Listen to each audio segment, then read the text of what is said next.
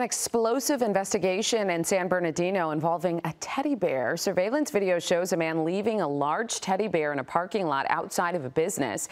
Seconds later, it explodes and he drives away. Detectives reviewed the footage. After several leads, they found and arrested a suspect. After serving a search warrant at his home, they found several items, including a ghost gun, over 200 rounds of ammunition, and a ballistic vest. It is still unclear why the man detonated the teddy bear. Yeah, that's bizarre. Mm -hmm.